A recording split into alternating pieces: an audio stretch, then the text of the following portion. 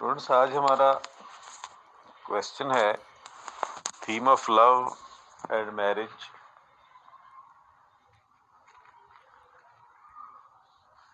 in Jane Austen's novel Pride and Prejudice आपको जो मैंने पेज दिए हैं, उनके आखिर पे छोटा सा एक पैराग्राफ है उर्दू में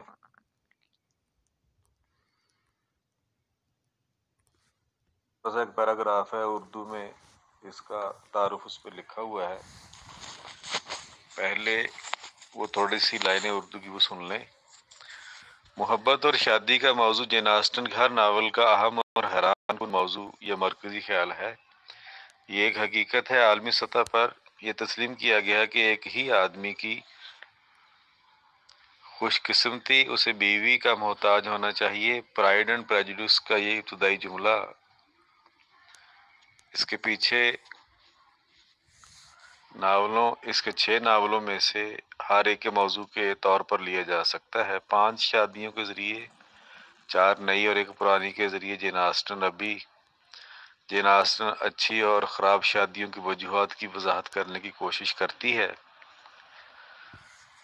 इस नावल के अंदर मुख्तलफ़ करेक्टर्स मेल फीमेल उनकी शादी, कामयाब होना शादी के अंदर कामयाबी को पाने के लिए जज्बाती पर काबू रखना ये इस तरह के मिले जुले पैगाम इसके अंदर हमें मिलेंगे। इस तरह ये इसका मरकज़ी बुनियादी थीम है। अब आ जाए क्वेश्चन के आगाज़ पे। क्वेश्चन शुरू होता है the theme of love and marriage is the important and striking theme of each of Jane Austen novels, it is a truth universally acknowledged that a single man having good fortune must be in want of a wife. कि दुनिया का ये कुदरत, ये दुनिया का माना हुआ सच है कि एक सिंगल मैन अगर वो अपनी किस्मत को और बेहतर करना चाहता है, बेहतर बनाना चाहता है तो इसमें उसे ज़िंदगी में एक बीवी की ज़रूरत होती है This opening sentence of Pride and Prejudice could be taken as the theme of each of her six novels. Through five marriages, four new one and fifth old one, Jane Austen tries to define reasons of good and bad marriages. Charlotte Lucas and Mr. Collins, Lydia and Mr. Wickham Jane and Bingley and Elizabeth and Mr. Darcy are the four newly weds. Mr. and Mrs. Bennet's marriage is the old one. The three aspects of life love, money, and marriage play an important role in her novels.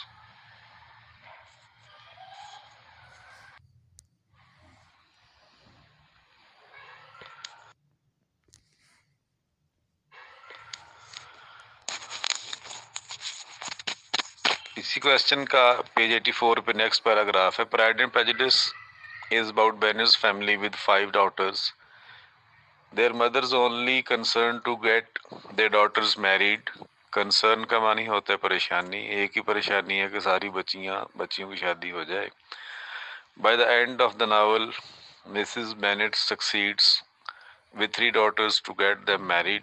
Mr. and Mrs. Bennet are poles apart from each other pole apart का लफ्जी मानी होता है सोच में। जहनी आहंगी में एक दूसरे के उलट होना, मुखालिफ होना। Mr Bennet is sharp and witty. Mrs Bennet is vulgar and indiscreet.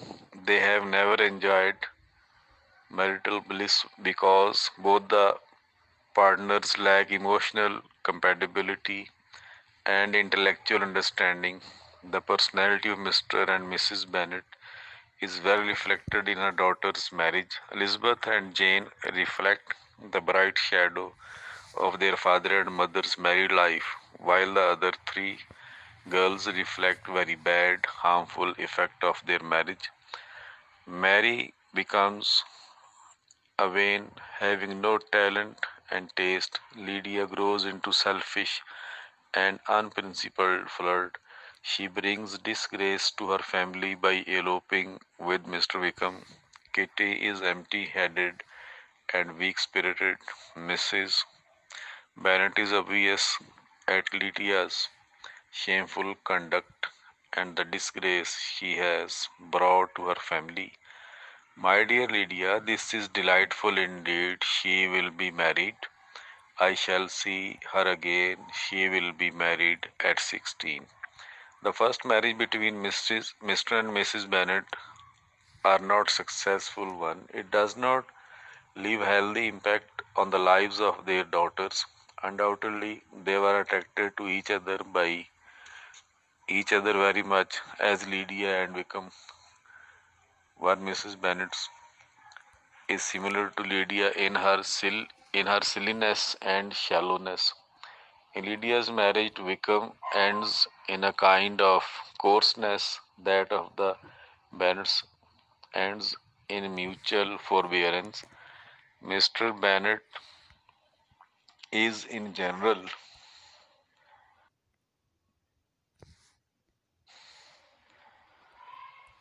retreat and isolation,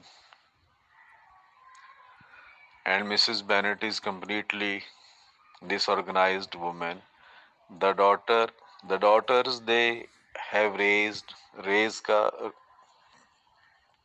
parvish karna. They have raised best indicate the failure of their marriage.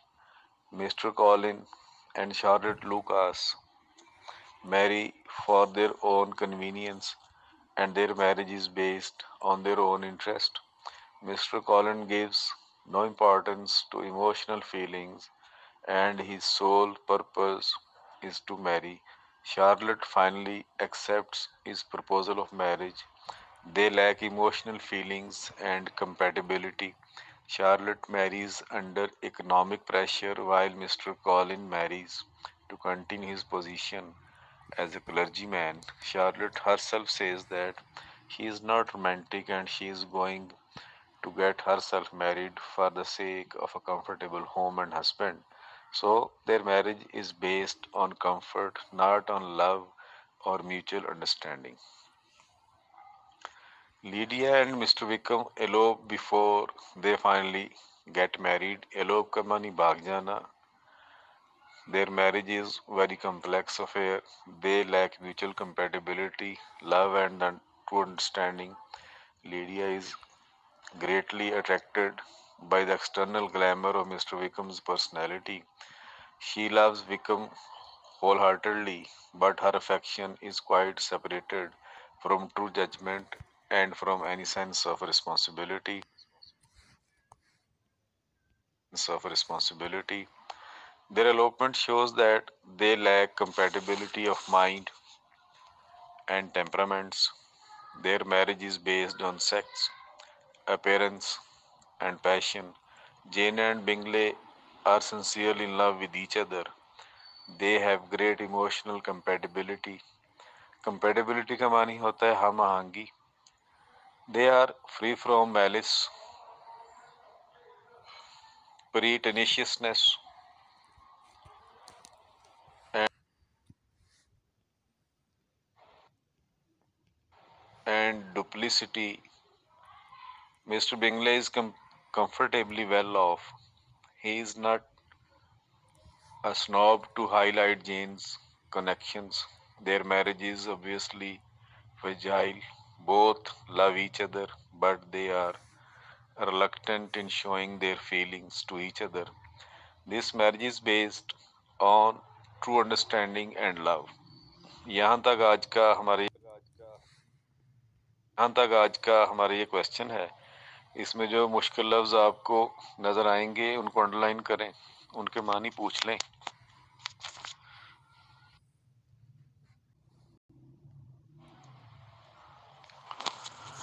Students आगे इसका बकिया जो हिस्सा है पेज 85 पे Elizabeth and Darcy's marriage appears to be most attractive and appealing one this marriage is based on proper judgment and self knowledge and true love.